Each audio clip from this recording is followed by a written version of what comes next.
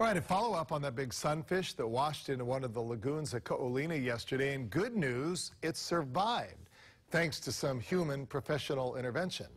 DLNR's Division of Aquatic Resources was notified about the situation, and crews came out to help the animal that was clearly in distress. Turns out, distress for a good reason. There was a large remora, that's another fish, stuck in the sunfish's gills.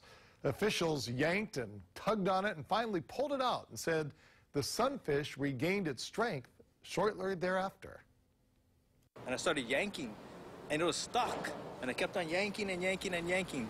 And as soon as we pulled the, the remora out of the sunfish, the sunfish kind of suddenly, you know, you could tell that it felt better.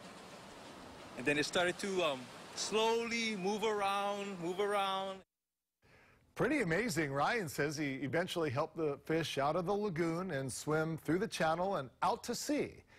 And if you're wondering what happened to the remora, well, it also survived. So a double happy ending. Apparently, he said it was so difficult to pull it out because the remoras are known for sucking onto the other animals, and it literally had its suction inside the sunfish. So it's crazy it, how it got into the yeah. gills, but we were both surprised. Yeah. All of us in the newsroom were surprised that it actually expected. survived, but yeah. that was great. Good for it. Yeah.